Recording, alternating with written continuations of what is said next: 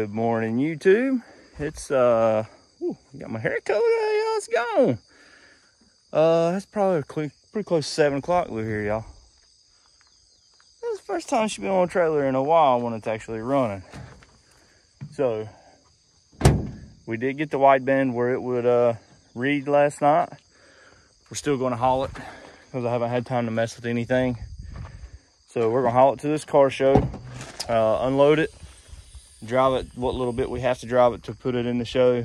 And we're also, I was gonna be in the show too. It's at a, uh, like an off-road place or 4x4 off-road in Hickory. So anyway, let's get this thing strapped down and uh, get headed that way. We've got, we'll have to rinse that 4Runner off again. Got uh, grass all over tires from, I drive down through there. So anyway, let's, uh, let's go check some cars out.